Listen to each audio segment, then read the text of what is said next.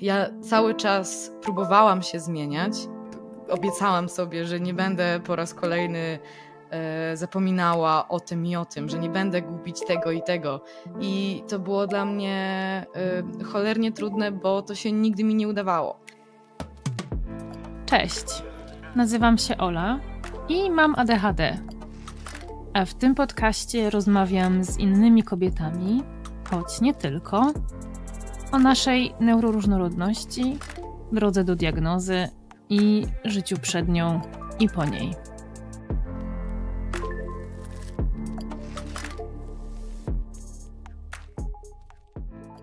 Dzisiaj moją rozmówczynią jest 22-letnia Ania Rejman, zajmująca się szeroko pojętą sztuką wizualną.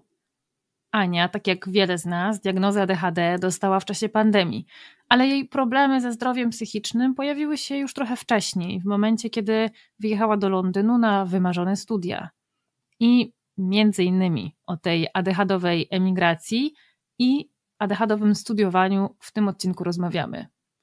Dyskutujemy o tym, jak przeprowadzka do innego kraju może być katalizatorem problemów ze zdrowiem psychicznym, jak stawianie wszystkiego na jedną kartę nie zawsze ma sens i jak czasem warto odpuszczać oczekiwania swoje i innych wobec nas samych. A poza tym rozmawiamy o tym, dlaczego lenistwo to koncept, który nie ma racji bytu i co zrobić, kiedy nie umiemy nie robić nic. Ania potrzebowała roku w Londynie na prestiżowej uczelni, żeby zrozumieć, że w pogoni za swoimi ambicjami zupełnie się zatraciła i zgubiła to, co było dla niej najcenniejsze inspirację płynącą od innych ludzi. Po powrocie do Polski dostała diagnozę ADHD i zaczęła układać się ze swoją nową tożsamością. W dodatku, w ramach łączenia sztuki audiowizualnej z działalnością aktywistyczną, w październiku zeszłego roku, w ramach miesiąca świadomości ADHD, stworzyła serię rolek Ogarnij ADHD. Jeśli jesteście ich ciekawi, to wpadnijcie na Instagram Ani, a jeśli chcecie wiedzieć, gdzie w Londynie można zjeść najlepsze pierogi, to słuchajcie dalej. Poza tym chciałabym podziękować wszystkim osobom, które zdecydowały się do tej pory wesprzeć mnie i postawić mi wirtualną kawę. To dzięki Wam mogę dbać o to, żeby to, co robię, było robione na wyższym poziomie. A jeśli chciałybyście, chcielibyście mnie wesprzeć, to możecie to zrobić klikając w link, który widnieje na dole opisu tego odcinka albo w opisie profilu na moich socialach. No i już bez przedłużania, zapraszam Was do wysłuchania tej rozmowy. Cześć Ania. Cześć Ola. Nie wiesz co, choć nie udajemy, choć przyznamy się do tego, jak było naprawdę. to jest take two. take two. It's take two of dwie typiary z doświadczeniami londyńskimi podcast i dwie ADHD. O tych doświadczeniach londyńskich na pewno sobie pogadamy, bo będę, będę chciała Cię o to zapytać. Bo ja w ogóle to jest. było o tym porozmawiać. To jest w ogóle bardzo ciekawe w kontekście neuroróżnorodności, zmieniania miejsc zamieszkania, zmieniania, zmienianie krajów i kultur, ale dojdziemy do tego. Ale zacznijmy od początku. Tam, gdzie zaczęłyśmy przed chwilą, wtedy, kiedy się źle nagrało. Z wielką przyjemnością jeszcze pamiętam, o czym mówiłam. No to dobra. E, Powiedz mi, jak ci idzie ogarnianie tego ADHD? Więc jeszcze raz ci powiem, że Pytasz mnie o to w, w, dość ciekawym momencie, ponieważ dosłownie parę dni temu podjęłam decyzję o wzięciu po raz kolejny dziekanki, co pewnie będzie się wiązało z tym, że po raz kolejny rzucę studia nauczona moim poprzednim doświadczeniem. Um, więc y, no, moje ADHD, ogarnianie idzie, ADHD idzie mi w, tym, y, w ten sposób, że e, staram się trochę bardziej priorytetować priorytetyzować y, odpoczynek y, i mam nadzieję, że robienie rzeczy trochę bardziej w moim tempie, a nie zadań, które są y, narzucane i w które za bardzo nie wierzę i które mi za bardzo nic nie dają. E, myślę, że będzie, myślę, że będzie dobrym krokiem e, w ogarnianiu ADHD. E, bardzo szczytny cel i powiem Ci, że nie wiem, czy słuchałaś mojej rozmowy z Ewą Nowakowską. Mm, myślę, że tak. Ona y powiedziała tam coś takiego bardzo fajnego. Ona powiedziała, że ona zaczęła jakiś czas temu traktować wszystko, co robi, jak pracę. Czyli jeżeli robi pranie, to to jest po prostu część pracy. Tak, no y, to jest.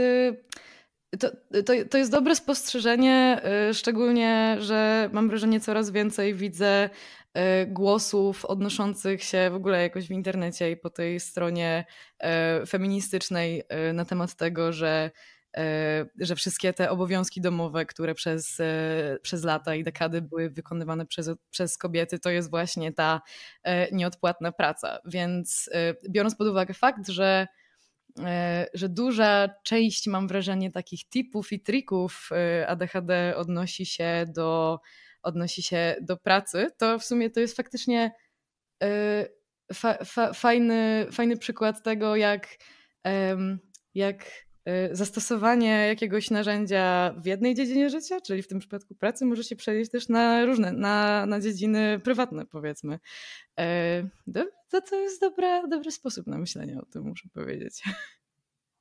E, mam taką myśl, bo jakiś czas temu tak sobie yy, znalazłam taką informację, która jest taka oczywista, ale, ale dopiero jak ją przeczytałam, to ona to była, była taka, zrobiła się taka oczywista. Wcześniej wcale taka oczywista w mojej głowie nie była. Mm. Mm, bo to jest tak, że w momencie, kiedy ten 40-godzinowy tydzień pracy, tfu, tydzień? Tak, tydzień. W tygodniu pracujemy 40 godzin. Tak, nie, nie, nie w ciągu dnia. To byłoby niemożliwe.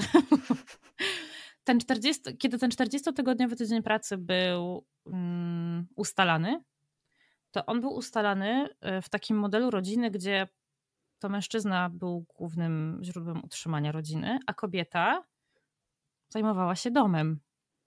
Hmm. Okej, okay. no tak, I... to wiele wyjaśnia. Y, tak, to, to wyjaśnia to, dlaczego, dlaczego nagle okazuje się, że. Bo jakby umówmy się, Polska nadal jest tym krajem, w którym. Nie pamiętam statystyk, bo też gdzieś mignęły mi jakiś czas temu, ale Polska jest nadal tym krajem, w którym większość takich prac okołodomowych wykonują kobiety. Myślę, że myślę, że to jest statystyka, która jest bardzo podobna na, na, na całym świecie. To e... prawda, to prawda. To jest bardzo, to jest bardzo ciekawe, e, to co mówisz. Też mi się to kojarzy z. Nie, szczerze mówiąc, miałam myśl przez chwilę i, e, i, i ona mi wyleciała. Uwielbiam te momenty. E, więc, Często tak masz, że zaczynasz zdanie i wiesz, co chcesz powiedzieć, a jak dochodzisz do połowy, to już zupełnie zapomniałaś, o czym to miało być? Jezus, zdarza mi się to, zdarza mi się to bardzo często to, to, to, jest raczej, no to, to, to, raczej jest właśnie kwestia tego, że często ja mam osobiście tendencję do. E, nie, nie wiem, z czego to wynika. Zastanawiałam się, czy to jest też jakaś rzecz, która jest typowa dla osób z ADHD, ale wydaje mi się, że nie.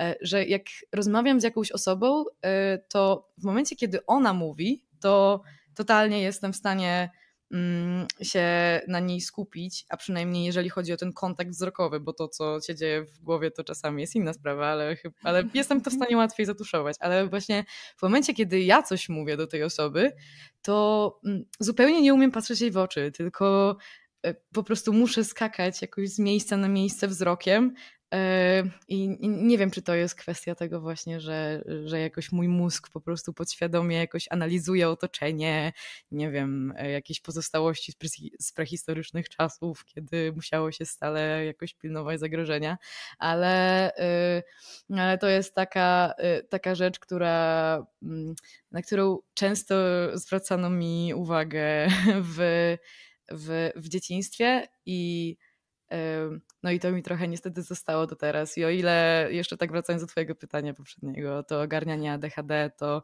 faktycznie od diagnozy y, było dużo, w sensie jest dużo rzeczy, które y, mogę szczerze powiedzieć, że zmieniły się na lepsze. To akurat to patrzenie na, na innych ludzi podczas rozmowy to jest dla mnie rzecz totalnie nie do, nie do przeskoczenia.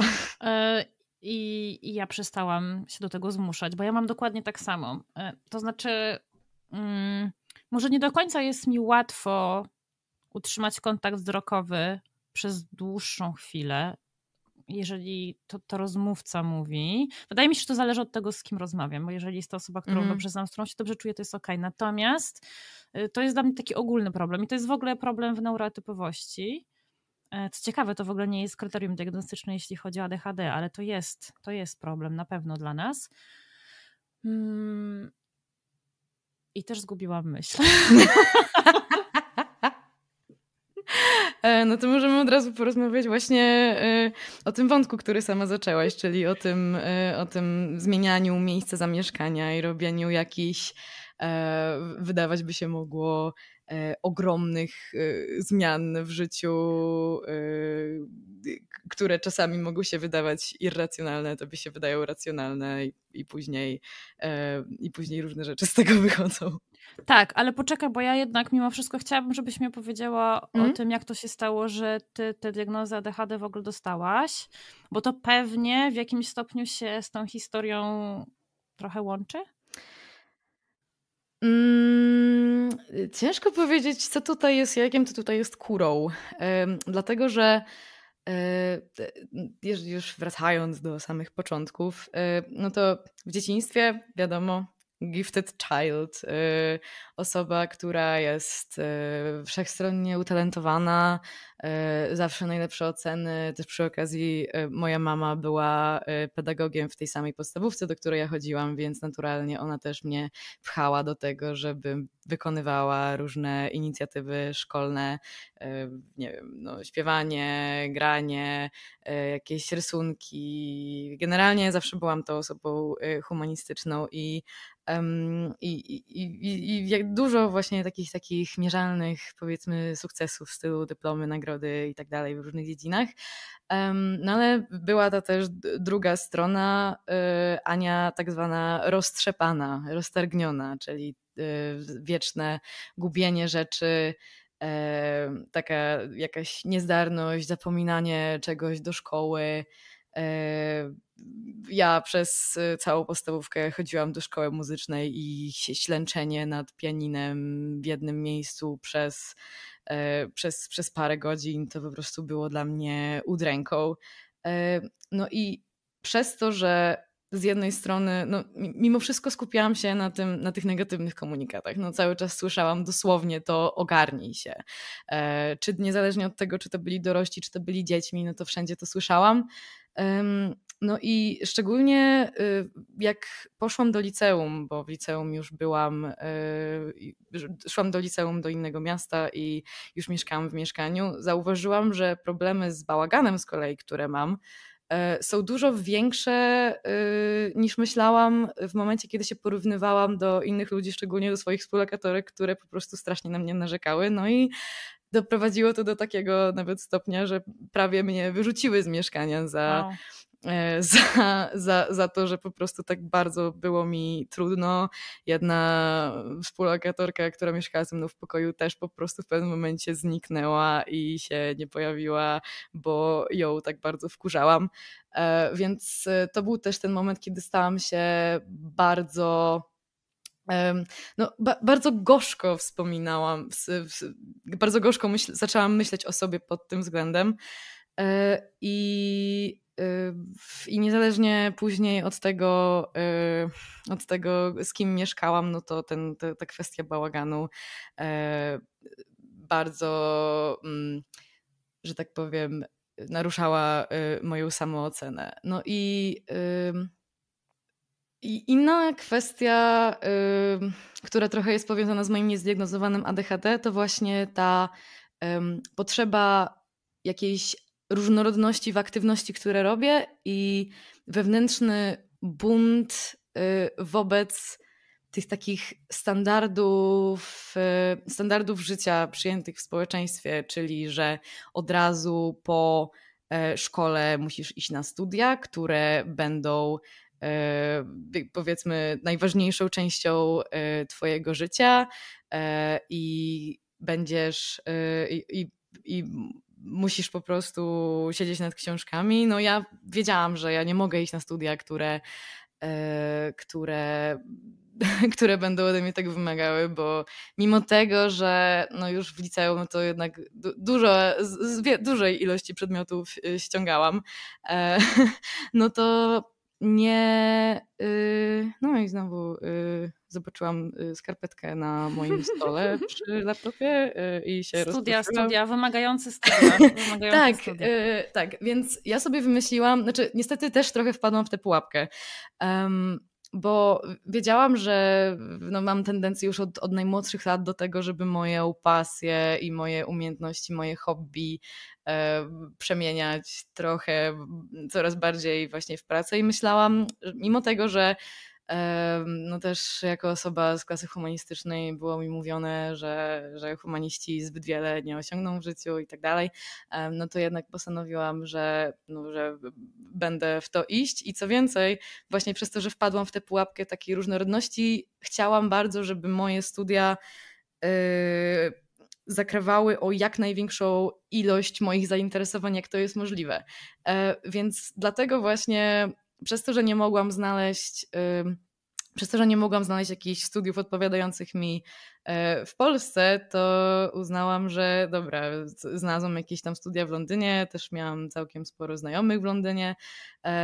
Uznałam, posłucham swoich chorych ambicji e, i spróbuję i spróbuję tam, bo byłam jakoś przekonana o tym, że właśnie jeżeli studia, no to no to raczej nie w Polsce, jeżeli to, jeżeli właśnie studia mają być moim, e, moim kluczem złotym do, do, do, do, do, sukcesu, a szczególnie studia w Londynie, naprawdę prestiżowe, certytata. No właśnie, co to były za studia? Y, to były komunikacje medialne na y, University of the Arts w, w Londynie. No, akurat ja byłam na takim e, kampusie, kampusie, który się nazywał London College of Communication i... Gdzie on jest w Londynie? Y, na Elephant and Castle. A, okej. Okay. Tam UAL generalnie, no to jest jeden uniwersytet, który ma sześć kampusów. Jest ten College of Communication, czyli mój, który jest Kiedyś był to London College of Printing, więc to była taka, najpierw to była szkoła, która była poświęcona e, właśnie grafice, sztuce drukarskiej, też trochę, mm, trochę dziennikarstwu. Teraz y, od parunastu lat no, coraz bardziej jest jednak nowocześnie i skupiają się również na tym filmie, fotografii, takich bardziej nowoczesnych form mhm. audiowizualnych, mhm. ale też tam jest jakieś tam dziennikarstwo czy coś.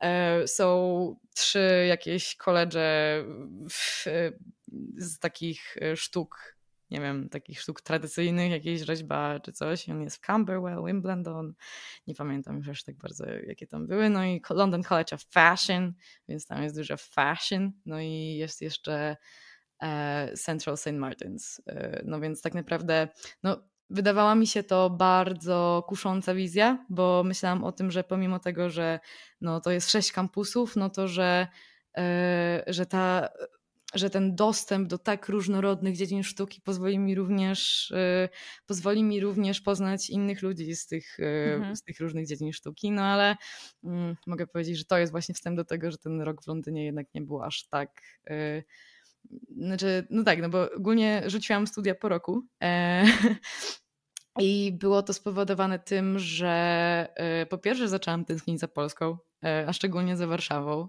E, nie jestem z Warszawy, ale mam bardzo duży sentyment do tego miasta i, i zaczęło mi też brakować dostępu do polskiej kultury. Pamiętam taki bardzo kuriozalny moment, jak po pół roku w Londynie. Przy czym jeszcze dodam, że ja nigdy wcześniej, zanim się przeprowadziłam do Londynu, to w nim nie byłam. Okay. więc, e, więc też to nie było tak, że to była moja że to była moja, że to było moje miasto marzeń, tylko to był dość przypadkowy wybór. Miałam tam dużo znajomych i um, pomyślałam sobie, że też łatwo będzie znaleźć jakąś pracę, jak tylko jest język angielski e, potrzebny.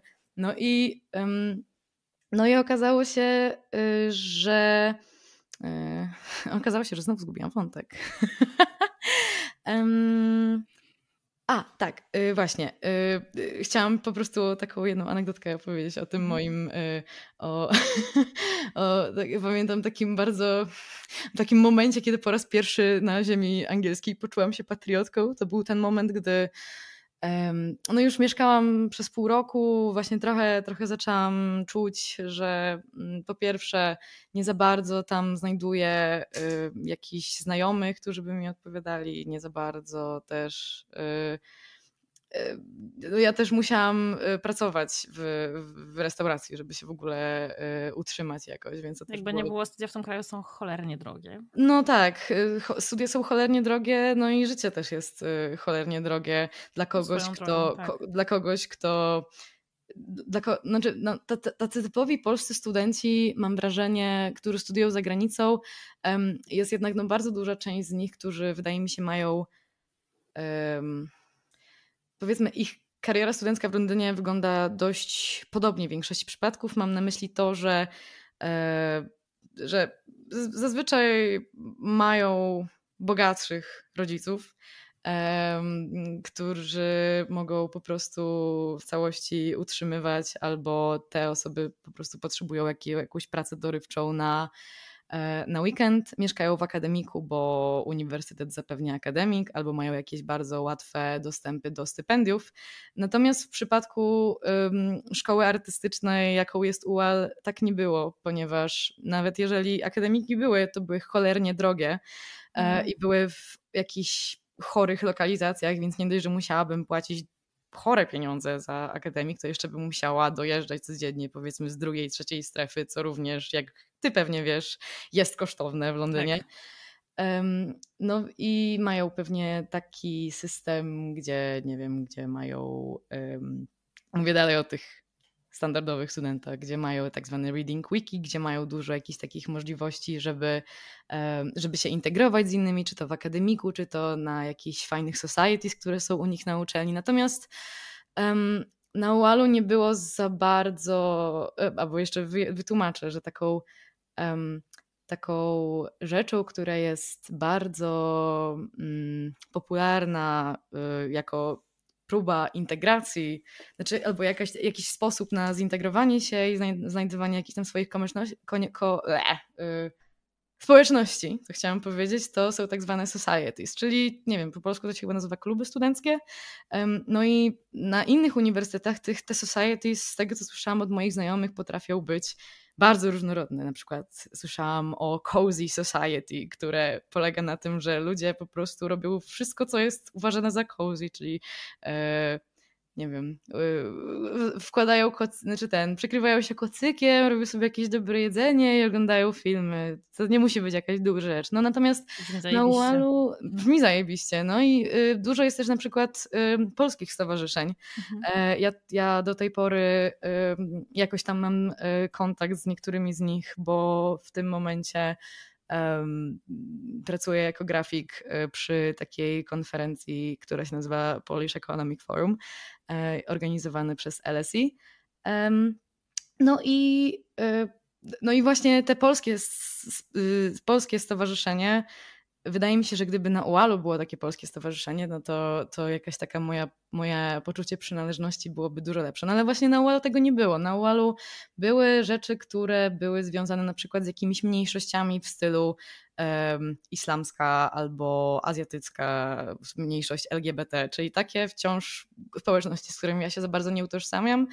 I ciężko mi się przez to było jakoś tam y, odnaleźć. Może teraz, po tych paru latach, y, jest jakieś neuroróżnorodne society, kto to wie. No, to by było, myślę, gdybym wtedy wiedziała, to myślę, że mogłabym w tym mhm. kierunku.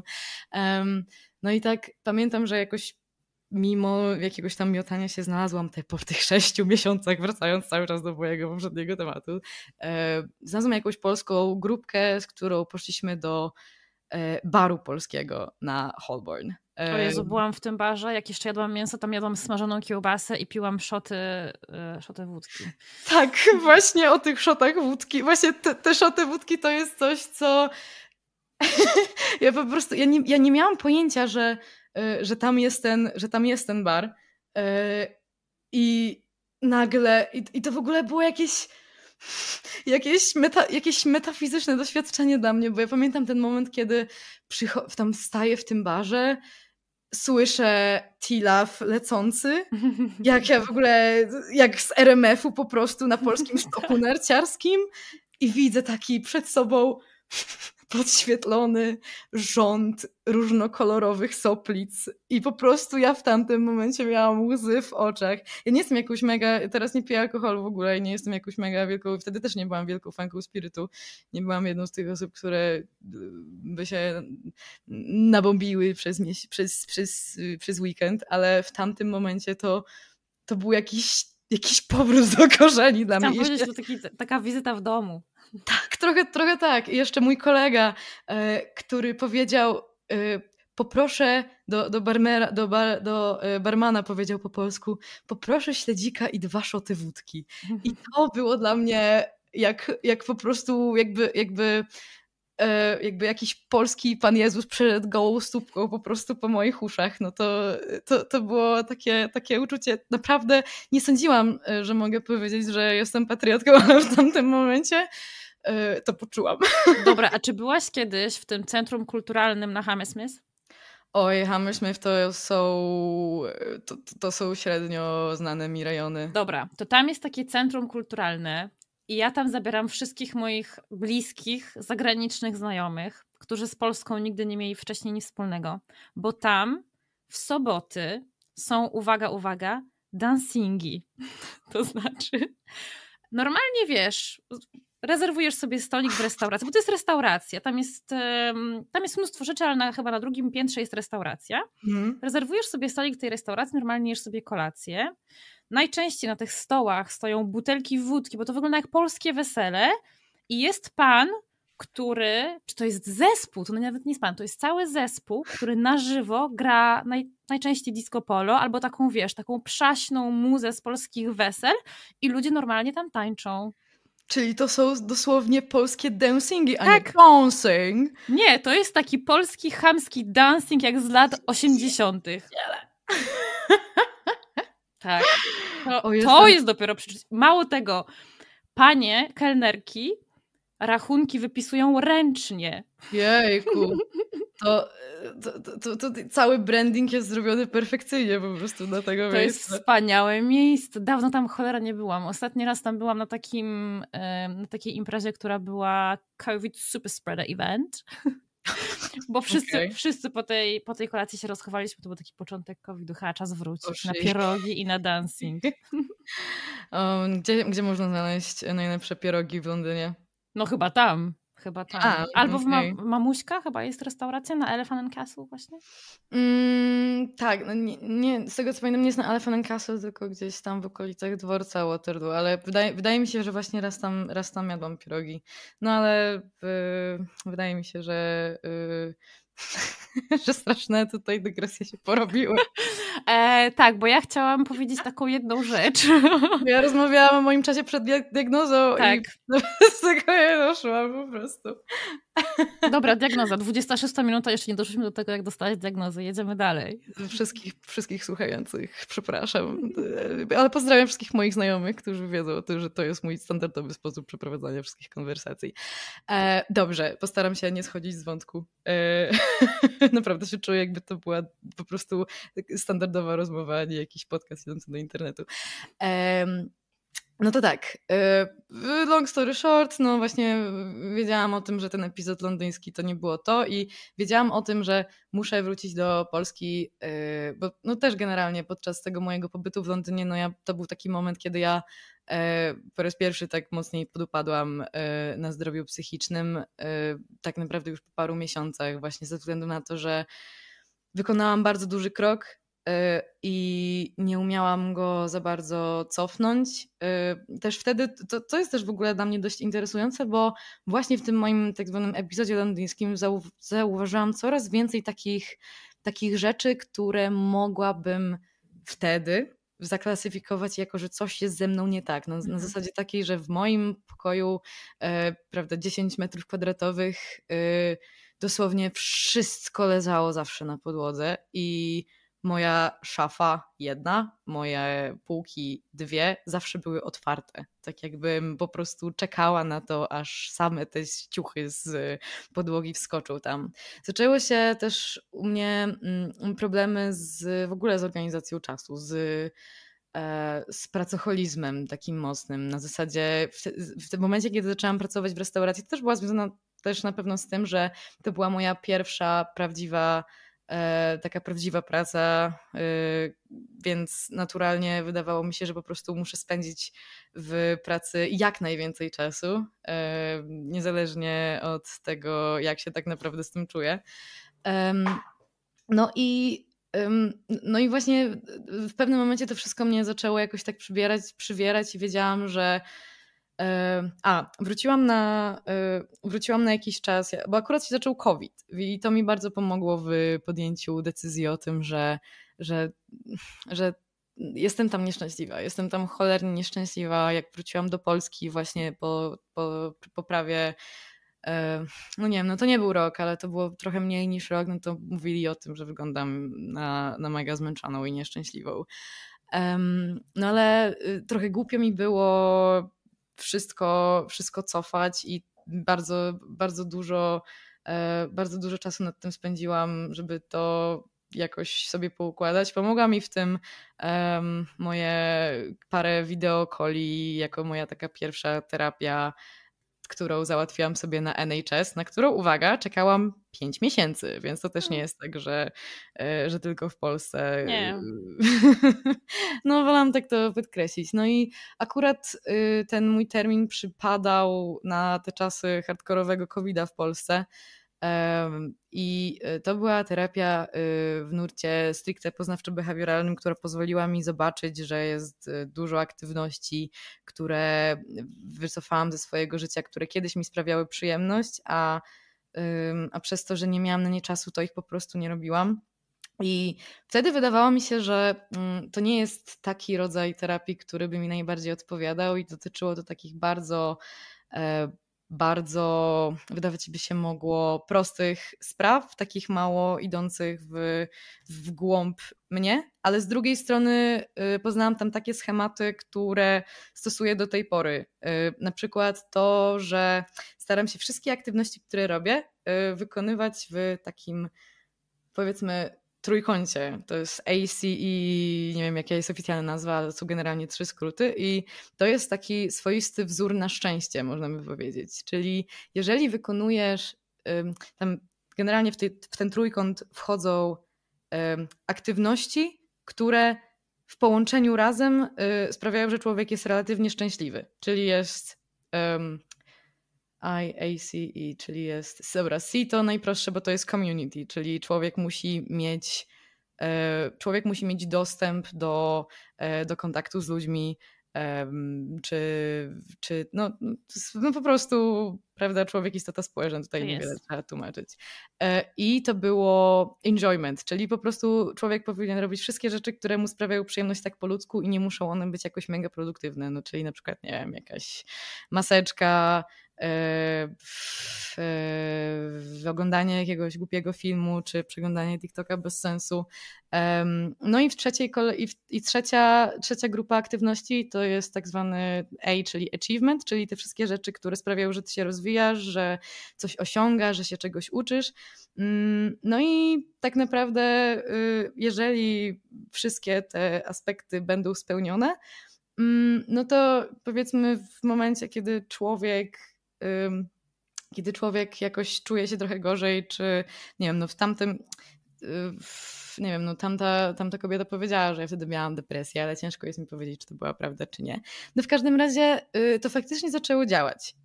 To mnie sprawiło, że postanowiłam, że przeprowadzam się z powrotem do Warszawy, e, znaczy z powrotem, że po prostu przeprowadzam się do Warszawy, jeszcze wróciłam tam na jakiś czas do Londynu tylko po to, żeby już popracować w gastro i żeby zaoszczędzić na coś, co, o czym zawsze marzyłam, czyli e, wynajęcie kawalerki w Warszawie, co sprawiłoby, że nie musiałabym się w ogóle przejmować ludźmi dookoła, propos bałagan, bo to wciąż było dla mnie ogromnym stresem w życiu i no, największym chyba stresem, największy stres był spowodowany tym, że yy, ja cały czas próbowałam się zmieniać i próbowałam robić. Yy, obiecałam sobie, że nie będę po raz kolejny yy, zapominała o tym i o tym, że nie będę gubić tego i tego. Yy, I to było dla mnie y, cholernie trudne, bo to się nigdy mi nie udawało. No i yy, jakoś tak żyłam z tym tak naprawdę przez lata. Właśnie ta kwestia bałaga, bałaganu i, i gubienia przedmiotów, no to, to, to, to w momencie, kiedy coś zgubiłam, to dla mnie osobiście to był po prostu najgorsze uczucie na świecie. To były te momenty, kiedy ja się absolutnie czułam najgorzej ze sobą, szczególnie dlatego, że za każdym kolejnym razem obiecałam sobie, że jak to się stało, że tak mogłaś zrobić? Jak to się mogło stać? Zadawałam sobie te pytania i, i nie potrafiłam znaleźć na nie odpowiedzi.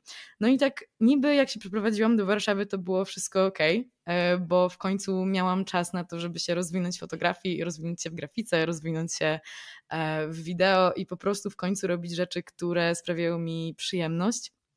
Ale no czułam, że coś tam jest gdzieś pod powierzchnią, że cierpię dalej i zaczęłam dostrzegać to, że właśnie mam niską samoocenę, że cierpię na ten pracoholizm cały czas, e, że są jakieś powiedzmy sprawy przez lat, które są nieprzepracowane, no i e, no i zaczęła się moja e, do tej pory trwająca przygoda z psychoterapią jakoś pierwsza z nich, którą, e, którą miałam w Warszawie, była beznadziejna i to w ogóle był straszny okres, ale z kolei już druga.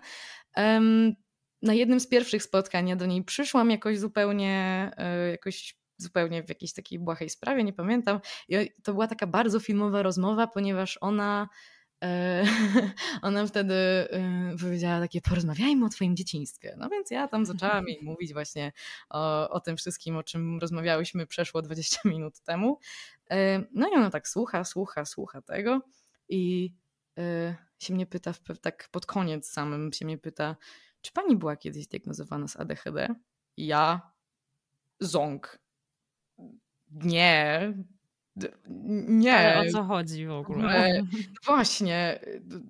Od razu mój mózg powędrował do tych moich dwóch kolegów z podstawówki, którzy, o których mówiono, że ma ADHD, o których mówiono, że mają ADHD.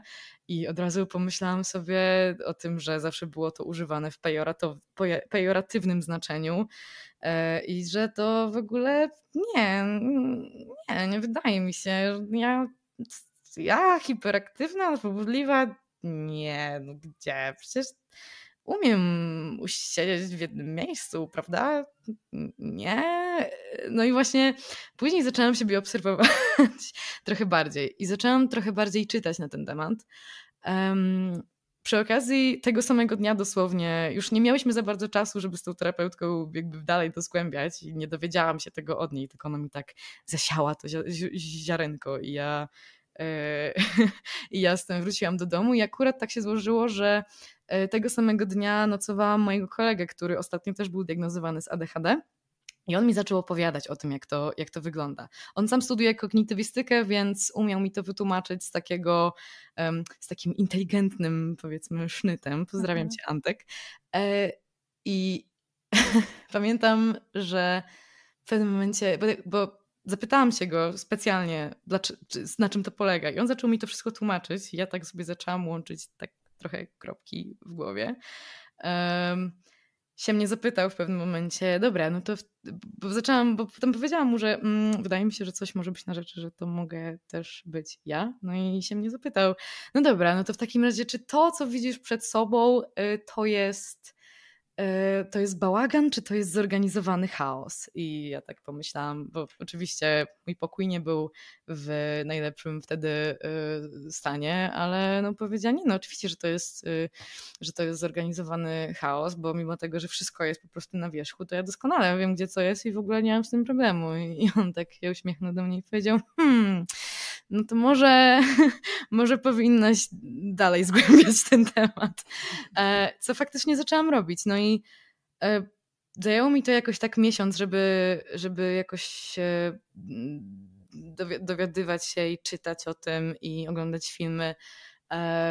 Po dwóch miesiącach umówiłam się na, e, na oficjalną diagnozę, ponieważ jak się okazało, mój kuzyn, z którym się spotkałam, e, też został zdiagnozowany z ADHD, więc on mi polecił, on mi polecił jedną terapeutkę z Warszawy, i no tak naprawdę to, to, to, ta diagnoza nie zajęła jakoś długo, bo dla, dla, dla niej um, dla tej terapeutki, która sama też swoją drogą miała ADHD, e, ona powiedziała, no, że dla niej to w sumie jest tak oczywiste, że właściwie ona nie ma aż tak dużo pytań. E, bo i, i faktycznie m, mm, aż ciężko jest w ogóle. Dziwnie mi się tak myśli o tym w sumie, bo to nawet nie było nawet rok temu. To się wydarzyło w kwietniu zeszłego roku, e, a to mi się wydaje tak odległe. Mhm. To, to, to po prostu ta świadomość tego, ile ile po prostu różnych klapek mi się pootwierało i ile, um, ile nowych drzwi po prostu w swoim mózgu otworzyłam, to, to zupełnie jakoś mam teraz na to zupełnie inną perspektywę. Um, no ale właśnie. Um... Ja, ja rozumiem to uczucie, bo ja czasami mam wrażenie, jakbym przeżyła już z jedno życie od momentu, kiedy dostałam diagnozę że z jednej strony to też było mniej więcej jakoś rok temu, a z drugiej sobie myślę, że jak to tylko rok? Że przecież raz, mm. że mhm. tyle się wydarzyło, a dwa, że ja po prostu tyle zmieniłam w swoim życiu dzięki tej diagnozie na lepsze, że to niemożliwe, że to było tylko rok temu. Tak, dokładnie, że, że masz wrażenie, że ty jesteś zupełnie, um, zupełnie inną osobą, że jesteś zupełnie inną wersją siebie, E, która na samym początku jest trochę, jest trochę przerażająca, bo e, no, no bo, no, bo, no, no bo dostajesz informację o tym, że masz jakąś dysfunkcję i wydaje się to, i wydaje się to straszne. Wydaje się, że e, że no właśnie, że jesteś, że, że jesteś nienormalna, że jesteś tym, tym chłopakiem, którego nikt nie lubił w szkole, E, i że to było jakoś, jakoś ukrywane, ukrywane przed tobą. No ale um, no co, no. Z, e, zgubiłam się teraz znowu. A, e, wiem, no mi generalnie, no wiadomo, no po diagnozie na początku wiadomo, żałoba, tak jak to już ustaliłyśmy, że myślałam sobie cały czas o tym, że Jezus Maria, po pierwsze, jakie to jest niesprawiedliwe, y, jak wygląda kwestia diagnozy ADHD u dziewczyn. Myślę, że nie musimy o tym zbyt dużo rozmawiać, bo, bo tak naprawdę na tym się, na tym się opiera ten podcast, że, mhm. że, że, że tak naprawdę wszystkie nasze objawy i, i, nasze zmagania są marginalizowane przez, przez tak naprawdę wiele lat i my po prostu w pewnym momencie jesteśmy skazane na siebie, jeżeli ktoś nam tego nie wskaże palcem albo nie będziemy mieć na tyle szczęścia, żeby, e, żeby ktoś nam na to zwrócił uwagę. Tak jak ta nieodpłatna praca, którą wykonujemy po, poza 40-tygodniowym tygodniem pracy. Do, do, dokładnie tak. No i I też po prostu myślałam sobie przez, przez na początku, że gdybym tylko wiedziała, no to, no to zaczęłam, znaczy, zaczęłam sobie po prostu wy, wypominać te wszystkie momenty, w których, czy sytuacje w przeszłości, w których ktoś mnie skrytykował za jakiś mój głupi błąd, za te sytuacje, gdy wyrzucałam sobie. Yy, że tak ciężko właśnie jest mi zaimplementować te zmiany w sposobie urządzania i ogarniania rzeczywistości dosłownie dookoła siebie.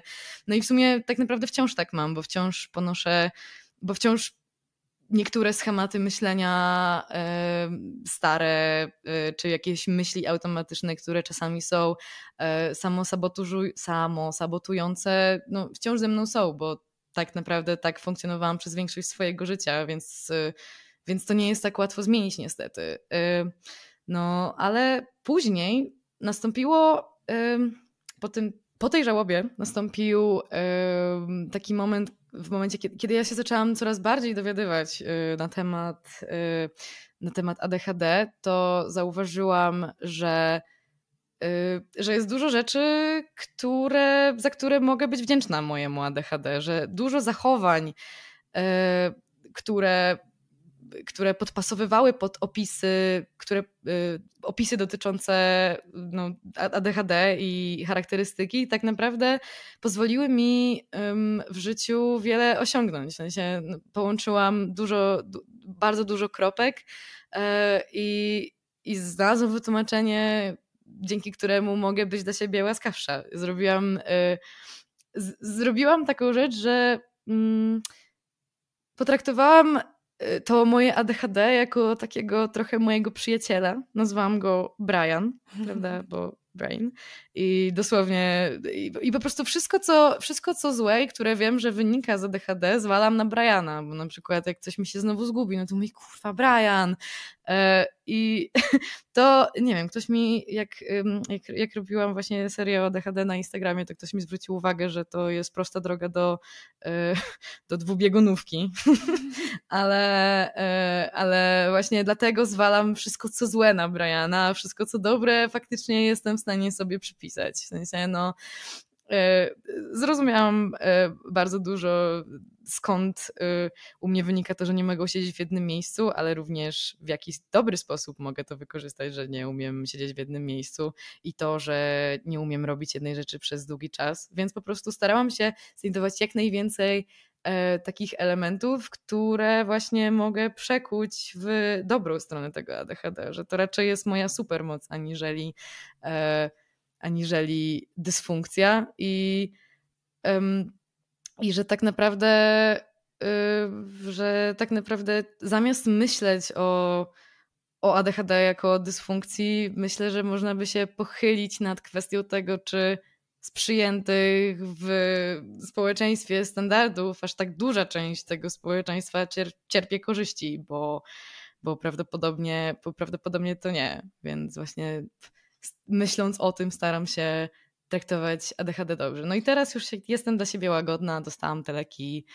E, trochę nauczy, no, bardzo duża ilość zachowań swoich zmieniłam e, po to, żeby mi się żyło łatwiej, bo już teraz dzięki temu, że mam diagnozę, to też wiem, jakie rozwiązania, jakie sposoby zmiany e, faktycznie są dopasowane do mnie. I za to też bardzo sobie cenię ADHD, że nie tylko ci daje rozwiązanie dla, dla Twoich rzeczy, które się wydawały problematyczne, ale również ci, ale również szczególnie ta angielska języczna e, strona daje dużo różnych narzędzi, które że istnieje duże prawdopodobieństwo, że akurat te narzędzia będą działały, bo są dopasowane pod twój mózg. Tak. I, i to bardzo, i to mi się bardzo podoba. Wiesz Więc... co, e, w ogóle to jest śmieszne, bo udzielałam wywiadu w tym tygodniu i mówiłam, mówiłam dokładnie to samo, mhm. co ty mówisz. Tylko, że ja mam wrażenie, że. Bo jak ja słucham sobie tych anglojęzycznych treści na ten temat, mhm. Mm, to tam się bardzo często pojawia taka narracja, właśnie, żeby się bardziej, żeby pochylić się nad tym, co to ADHD nam daje, albo nawet niekoniecznie co to ADHD nam daje, ale żeby się pochylić nad, pochylić nad tymi naszymi mocnymi stronami, które mogą wynikać, wiesz, z naszego temperamentu, z naszej osobowości, z jakichś naszych talentów i żeby z tego czerpać, Mm? Przy okazji zdając sobie sprawę z, z pewnych ograniczeń, które z naszego ADHD wynikają. E, I, I tam dużo jakoś tak przychylniej patrzy się na tę narrację związaną z supermocami. Natomiast w Polsce jest jakaś taka straszna nagonka na to. Ludzie jakoś tak bardzo nie lubią myśleć o ADHD jako czymś, co może nam coś dobrego dawać. My tak lubimy się skupić na tym cierpieniu, które z niego wynika. No, polska martyrologia, wiadomo. Ale naprawdę mam wrażenie, że mam wrażenie, że ten dyskurs jest zupełnie inny. Mm, I, I naprawdę bardzo skupiamy się na tych ograniczeniach, a za mało skupiamy się i za mało mówimy o tych pozytywnych stronach albo o tym, co, co można w te pozytywne strony przekuć. I powiem ci, że po jednej z moich ostatnich rozmów z kobietą, która bardzo fajnie mówiła o tym, jak ona to swoje ADHD pokochała, ze wszystkimi jego wadami i zaletami. Mhm. Dostałam komentarze o tym, że ten odcinek miał być o smutku, a tutaj jakaś baba siedzi i opowiada, że jest jej dobrze w życiu. O nie, to straszne, ktoś ma dobrze w życiu. Na pewno ma lepiej ode mnie, nie mogę, nie mogę tego wytrzymać. No to jest. Yy... Ciężko jest mi powiedzieć, czy to jest aż taka polska przypadłość. No to się tak mówi o tym, że, że, że właśnie o Jezu, sąsiad ma, ma, ma dobre auto, a, a ja nie mam i tak dalej. No wydaje mi się, że to w ogóle y, jakakolwiek, y, jakakolwiek duma z tego, że jest się innym. Y, jest w Polsce niezbyt dobrze odbierana. Myślę, że to też, y, ja bardzo dużo sobie myślę ostatnio o tej kulturze zapierdolu, ze względu na to, że no, leczę się z tego pracoholizmu, który również jest uzależnieniem od pracy i warto o tym pamiętać i warto pamiętać o tym, że pracoholizm to również jest problem. Tutaj mówię tak do, do, do widowni, bo dla mnie osobiście to było dość zaskakujące, jak mi to moja przyjaciółka powiedziała, więc chciałam, żeby to wybrzmiało. Tak, zwłaszcza dla nas, bo my często robimy, robimy rzeczy, które lubimy, a tutaj ta granica między pra pracowaniem ponad normę, a pracowaniem w normie jest bardzo, bardzo cienka. Tak, wydaje mi się, że to, że, że to może być takie frustrujące dla ludzi, że osoby z ADHD mają większe skłonności i tendencje do tego, żeby po prostu, żeby po prostu robić rzeczy, które sprawiają im radość i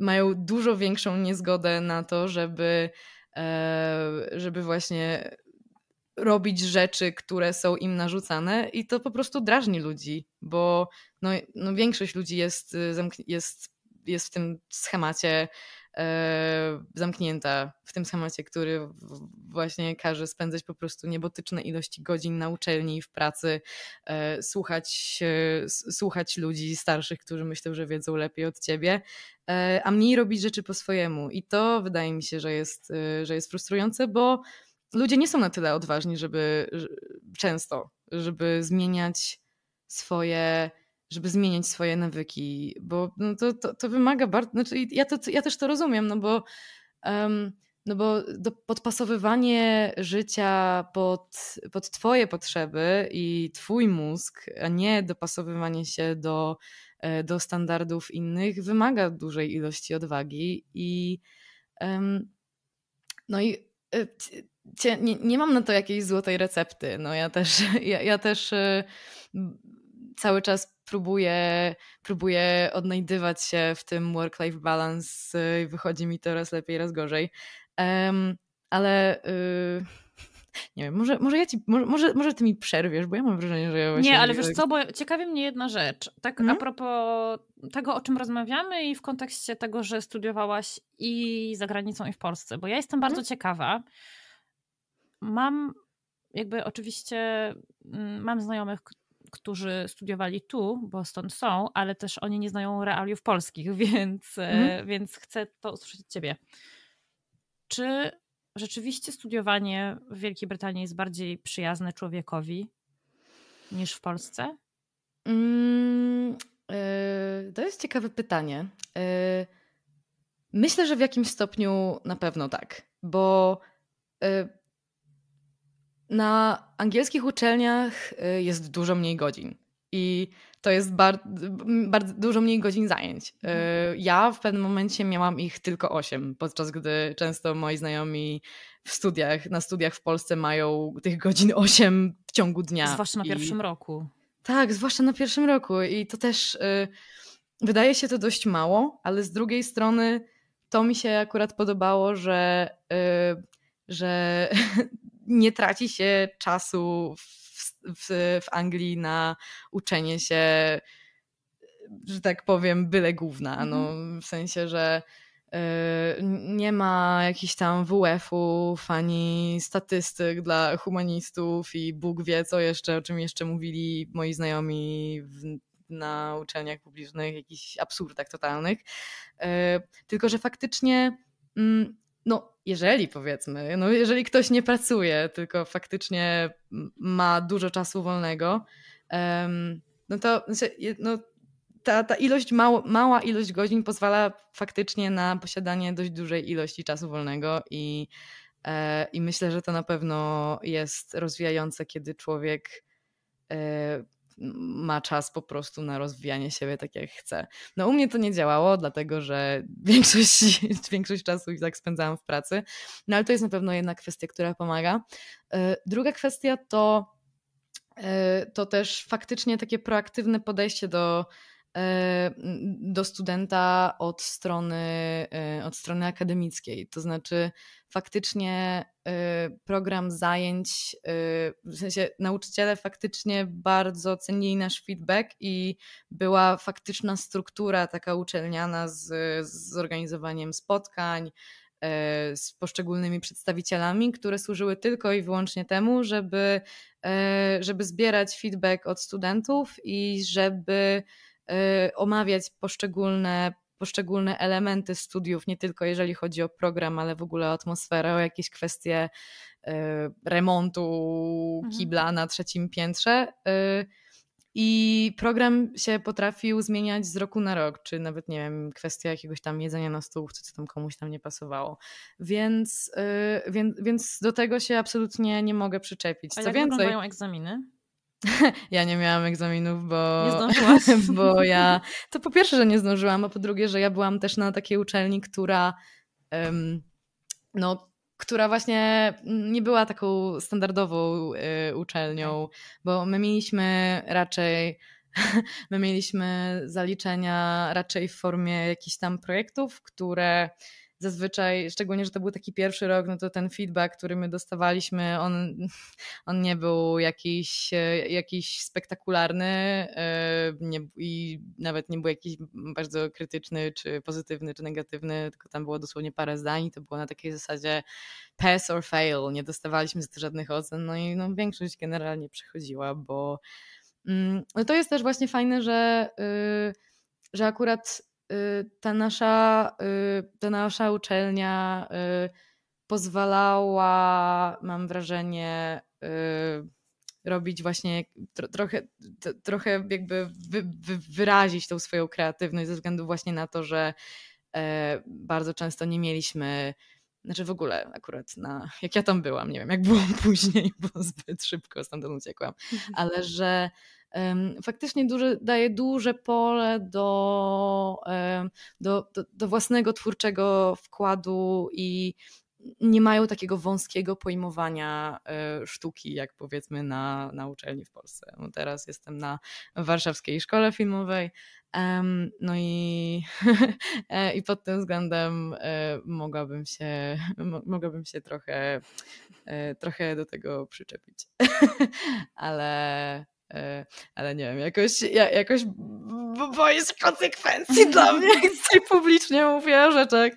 E, pewnie i tak, e, znając mnie, no to po prostu po tej dziekance skończy się tak, że, że uznam, że to nie ma sensu i będę szukała znowu jakiejś swojej następnej drogi, która po prostu będę miała jakiś hiperfokus na coś, złapię go na pół roku i w sumie tak mi się życie będzie toczyło. Już jestem do tego przygotowana. Ale właśnie, właśnie chciałam zapytać, czy widzisz w tym problem, czy raczej widzisz w tym jak, jakąś pozytywną rzecz? Wydaje mi się, że ja się trochę zaczęłam z tym utożsamiać. W sensie, yy, nie wiem, no to wszystko, co do tej pory osiągnęłam w życiu pod względem pracy, yy, zrobiłam to tak naprawdę bez studiów. Yy, w sensie, no, dla tych, którzy mnie nie znają, nie wiem, jakie są generalnie, jakie są tutaj generalnie standardy przedstawiania, no ale e, głównie pracuję na freelancie, e, robię sesje zdjęciowe, e, czasem jakieś relacje wideo, identyfikacje wizualne. Generalnie się poruszam w strefie foto, wideo, grafiki. No i ja kocham, e, ko kocham te nowoczesne sposoby nauki, kocham internet za to, że e, tak naprawdę wszystko jest dostępne w internecie. Jeżeli ma się wystarczająco dużo samozaparcia, a, a ja mam, bo, e, bo wydaje mi się, że ADHD dość szybko pokazało mi, że, że ja nie mogę polegać na, na takim układzie przerw, y, lekcji i tak dalej, który, który panuje ogólnie na uczelniach i szkołach, w sensie, że się faktycznie strasznie dużo czasu traci, że ja nie mogę sobie na przykład, nie wiem, jak ktoś, jak ktoś mnie zainteresuje, to nie mogę sobie podejść do okna i popatrzeć na to, tylko muszę siedzieć w jednym miejscu i udawać, że, i udawać, że słucham, jest to dla mnie mega niekomfortowe. Um, no ale... Yy, dlatego właśnie, no jak, jak, generalnie jak się przeprowadziłam z Londynu, to miałam taką myśl, że nauczyłam się na swoim błędzie, że nie mogę traktować studiów jako najważniejszą rzecz w życiu, że właśnie, bo z tego powodu tak naprawdę wylądowałam w tym Londynie, bo wydawało mi się, że że skoro studia są najważniejsze, bo tak mi o tym mówiono, to że całe swoje życie powinnam dopasować pod studia i dlatego szukałam kierunku, który byłby aż tak bardzo związany z tym, żeby po prostu wszystko było różnorodne i zatraciłam się w tym strasznie. I wydaje mi się, że przez to trochę zmarnowałam swój potencjał, a dzięki temu, że zrozumiałam, że lepiej mi idzie y, lepiej mi idzie po prostu realizowanie projektów i um, iście, iście, co? E, I podążanie z flow za swoimi pomysłami, po prostu realizowanie je niezależnie od tego, czy ktoś mi każe to robić, czy nie, no to się okazało, że to przynosi dużo lepsze rezultaty niż niż, niż w przypadku ludzi, którzy po prostu poszli na studiach, bo mm, zdobywam doświadczenie i. No i dlatego, dlatego o to cię zapytałam, bo mhm. ja też, wiesz, ja, ja, ja w ogóle jestem z tego pokolenia, gdzie no, moi rodzice, nasi rodzice, rodzice, wiesz, 30-parolatków polskich, to są często ludzie, którzy albo sami nie mogli iść na studia, albo musieli sobie to wywalczyć. Mhm. I my byliśmy tym takim pierwszym pokoleniem, które było pchane za wszelką cenę. My, my słyszeliśmy, że każdy musi skończyć studia, no bo co będziesz potem e, w barze pracować, mhm. śmieci będziesz e, zbierać po ludziach. No ta, taka była, wiesz, taki był przekaz z góry szedł. Mhm. I my w tym przekonaniu byliśmy wychowani i wszyscy na te studia, jak jeden mąż poszliśmy, wszyscy je pokończyliśmy, zaczęliśmy robić karierę, po czym po wielu, po wielu, po wielu, po paru latach robienia tej kariery, wielu z nas się zorientowało, że to w ogóle nie o to chodzi. Mm-hmm. Że w ogóle nas to nie kręci. I teraz się odwracamy, wracamy do źródła, nie? I teraz zaczynamy mm-hmm. robić te rzeczy, które nas kręciły, ale nie mieliśmy czasu ani możliwości tych pasji rozwijać. Wiesz, otwieramy nagle mm, jakieś mm, małe biznesy, zajmujemy się mm. rzemieślnictwem. Mm-hmm. Te studia okazuje się, że one w ogóle do niczego nam w życiu nie były potrzebne tak naprawdę. Tak, no ja właśnie, ja, ja bardzo no, ja znam doświadczenia teraźniejszych 30-parolatków, dlatego że y, tyle lat mają moi bracia. E, więc dlatego ja, wydaje mi się, że ja miałam właśnie pod tym względem bardzo dużo szczęścia, że oni wielokrotnie e, byli w stanie przedwcześnie zrewidować y, moje wyobrażenie na temat tego, jak wygląda rynek pracy i co się tak naprawdę liczy. I do tej pory jestem im za to bardzo wdzięczna, no bo Mm, tak naprawdę to dzięki nim od najmłodszych lat ja wiedziałam o tym, że e, widziałam mojego brata, który się po prostu strasznie męczy i robi magisterkę tylko po to, żeby po prostu dziadek się od niego odczepił. E, no i zadawałam sobie pytanie, no czy to faktycznie czy to faktycznie jest case w moim przypadku, jeżeli nie ma, jeżeli jest tyle tutoriali na YouTubie, E, z których można wyciągnąć więcej niż od starego dziada na studiach w Polsce, to dlaczego właściwie, e, to dlaczego właściwie za tym nie iść? No i ja zdaję sobie sprawę z tego, że to jest, że to jest w jakiś sposób przywilej, żeby się znaleźć w takiej sytuacji i też nie twierdzę, że studia zupełnie niczego nie dają, bo E, no bo mam du duże ilości znajomych, którzy przeszli normalną swoją drogę i teraz też pracują i generalnie wszystko, wszystko jest spoko. E, I czas, czasami trochę momentami im zazdroszczę. Szczególnie w momencie, kiedy, e, kiedy nagle mam strasznie dużo jakichś po prostu randomowych zleceń freelancerskich i, i to też zaczęło być momentami dla mnie, dla, dla mnie uciążliwe kiedy mam po prostu takie rozdrobnienie różnych rzeczy, ale staram się. No ale mimo wszystko staram się, staram się doceniać, że faktycznie sposób prowadzenia swojego życia, jaki wybrałam, dał mi bardzo, bardzo dużo, szczególnie po diagnozie ADHD, kiedy faktycznie zaczęłam zauważać, że, że okej, okay, że to um, że, że, że, że, ten, że, że to buntowanie się i ten alternatywny sposób życia jest naprawdę bardzo, e, bardzo fajny i, i, e, i niewątpliwie też jest e, fajne dla potencjalnych pracodawców. Znowu, znowu jakoś strasznie po prostu do, do, jakichś strasznych dygresji. Naprawdę nie bój się mi przerywać. Nie, nie, nie, to jest, cały czas, to jest cały czas w temacie, bo ja też sobie myślę, że mam wrażenie, że to jest coraz bardziej okej, okay, albo że to jest coraz częściej widziane jako coś, co jest okej. Okay. To takie mhm. nie podporządkowywanie się tym zasadom, którym podporządkowywali się nasi rodzice. E, właśnie to, to takie nie, nie chodzenie tym, to utartym, tym utartym szlakiem. Mm. No, też to, ten, to daje bardzo dużo dopaminy na pewno. Ale nie, chodzi, myślę... mi o to, chodzi mi o to, że jest coraz większe przyzwolenie na to ze strony społeczeństwa, którego jeszcze mm. pewnie 10 lat temu nie, nie było do tego stopnia. Zdecydowanie. Ja się strasznie... E, ja się strasznie cieszę, że e, w Polsce coraz popularniejszy staje się gapier. E, co w ogóle nie było nie było przedstawiane nikomu jako opcja. Albo właśnie chociażby ta kwestia urlopów dziekańskich, że to nie musi być wcale tak, że, że ty od razu od jednej szkoły przychodzisz do drugiej, tylko możesz sobie poświęcić czas na to, żeby po prostu sobie, nie wiem, luźno gdzieś popracować w jakimś mało, e, mało prestiżowym miejscu po to, żeby sobie, nie wiem, gdzieś pojechać i zobaczyć, co tam będzie. I e, nie trzeba myśleć w kategoriach tylko i wyłącznie edukacji w swoim życiu, żeby wciąż się rozwijać. I strasznie się cieszę, że że, że, ten, y, że, że ten trend też, też przychodzi e, do Polski z zachodu i liczę na to, że, że, tak, że tak będzie dalej. Ja w ogóle mam dużo nadziei, jeśli chodzi o te młodsze pokolenia, bo ja widzę, że y, ja wiem, że, że stare dziady, mówię tutaj też o moim, moim pokoleniu własnym. O Jezu, no strasznie rantuje, ale nie, my naprawdę strasznie rantujemy na, na młodszych ludzi, e, zwłaszcza na Gen Z. Um. Jakoś nas strasznie uwierają, znaczy nie mnie osobiście, wręcz przeciwnie. Natomiast jest, wiesz, no jest, mają ludzie jakiś z tym straszny problem. Bo, bo znowu to jest to, że my nie lubimy, jak ktoś ma lżej niż my, jak komuś -hmm. jest mhm. łatwiej w życiu. Tak, um, tak.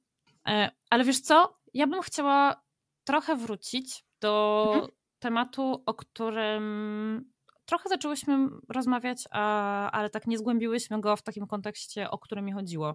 Mhm. Bo ja w ogóle mam wrażenie, że często jest tak, że w momencie, kiedy my zmieniamy miejsce zamieszkania, a zwłaszcza kiedy zmieniamy kraj zamieszkania i kulturę, w której się obracamy, to to, to jest ten moment, kiedy pojawiają się pierwsze problemy, albo może niekoniecznie pierwsze, ale to, jest, to, jest, to są często te momenty, kiedy pojawiają się problemy ze zdrowiem psychicznym.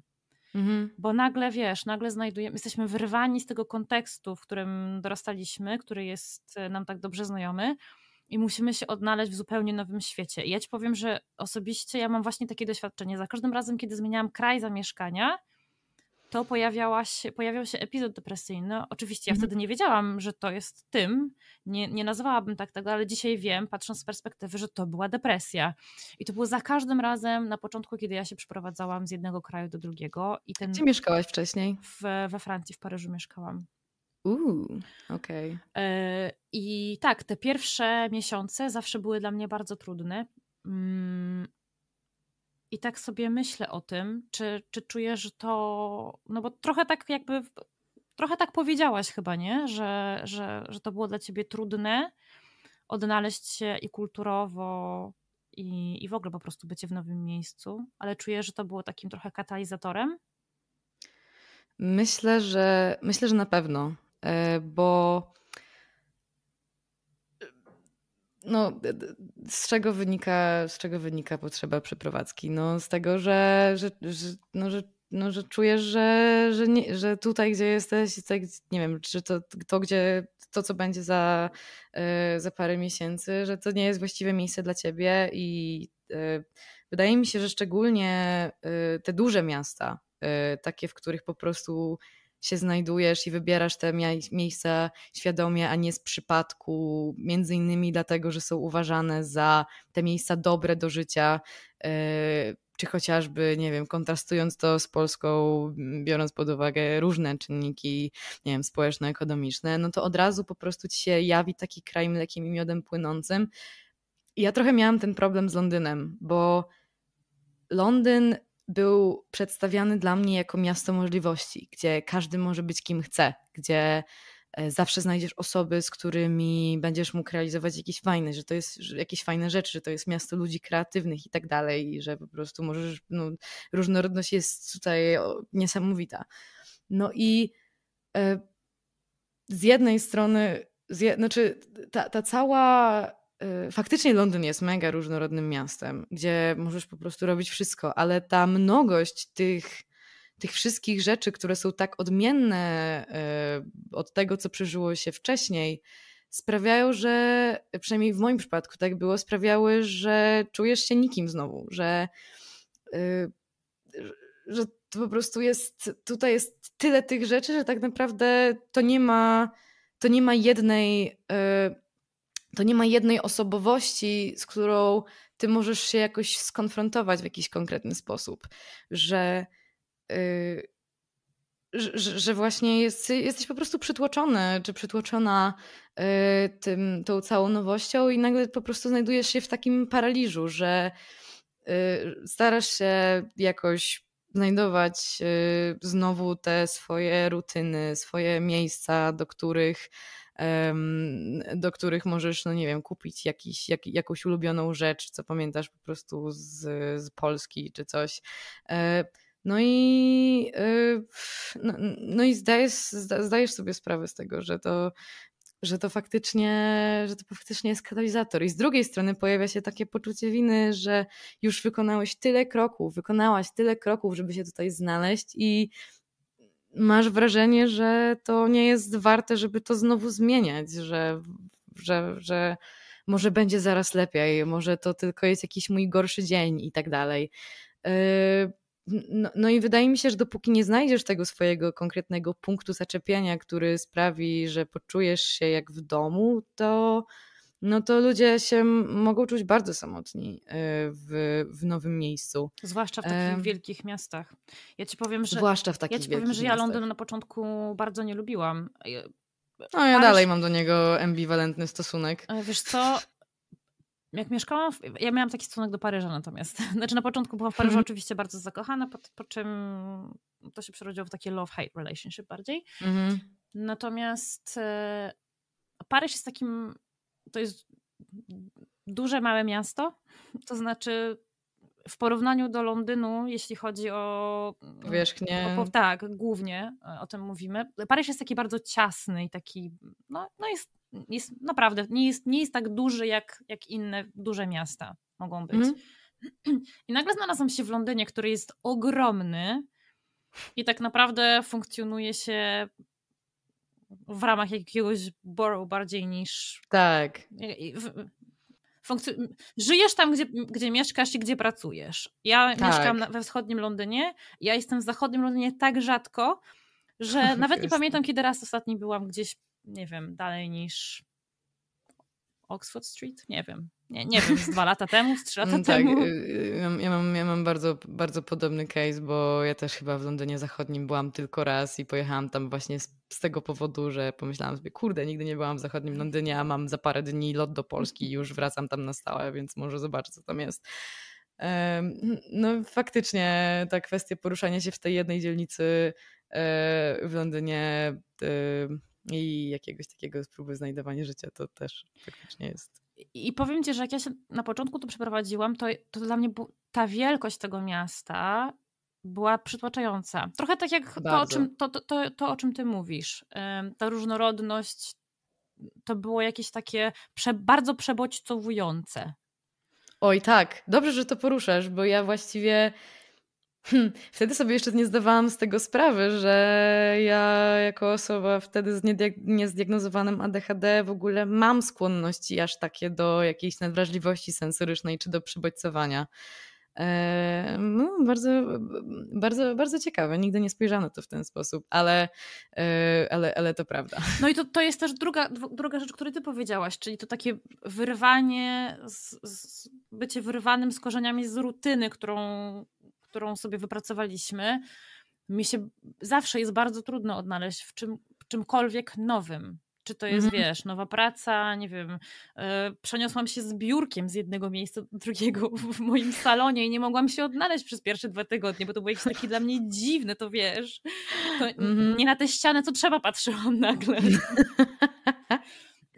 A my mamy taką, my mamy taką trochę tendencję, z jednej strony my potrzebujemy tej rutyny bardzo, żeby nasze życie miało mm-hmm. jakiekolwiek ręce i nogi, z drugiej strony trudno jest nam się jej trzymać, a z trzeciej strony jak nas już z tej rutyny, jak już sobie ją wypracujemy, ktoś nas jej wyrwie, to jest po prostu jakaś katastrofa.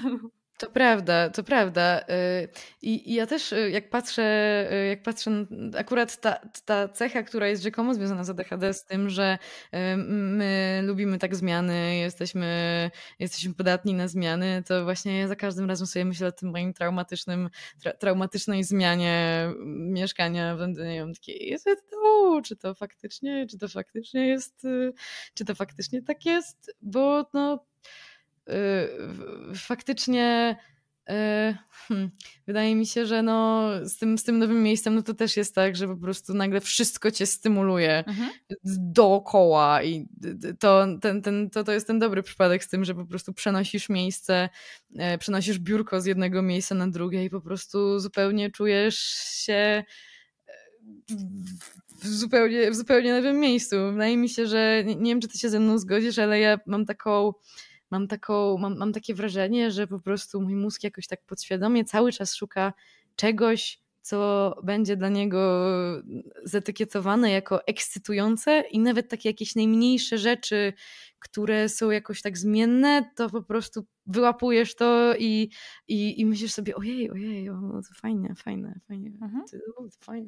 fajny, jest kąt tutaj na, na ścianie. Ja mam tak właśnie też bardzo często.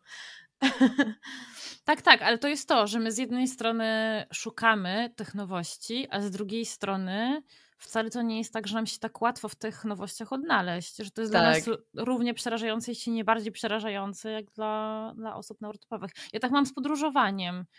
Mm, bardzo dużo podróżowałam służbowo przed COVID-em mm. i z jednej strony to było super ekscytujące i uwielbiałam to takie, bo nie było, nie było monotonii, więc to było mm. super cały czas coś się zmieniało, a z drugiej strony to było cholernie męczące i mm, wcale to nie było dla mnie takie wygodne. Hmm. No, no to myślę, że podróżowanie bardzo się wiąże z tym właśnie, że jesteś wyrwany ze swojej rutyny na bardzo długą ilość czasu i to, to potrafi bardzo przytłoczyć, szczególnie, szczególnie, osoby, szczególnie osoby z ADHD, że po prostu do pewnego stopnia no, no wydaje mi no możesz być podekscytowany, no ale no w pewnym momencie nadchodzi ten po prostu natychmiastowy drop tej ekscytacji i tych pozytywnych po prostu wątków i nagle orientujesz się, że jesteś turbo zmęczona mhm. i, i to jest wydaje mi się, że to jest taki, taki poziom zmęczenia czy taki poziom przebodźcowania, który jest bardzo trudny do wytłumaczenia osobom, które nie mają ADHD.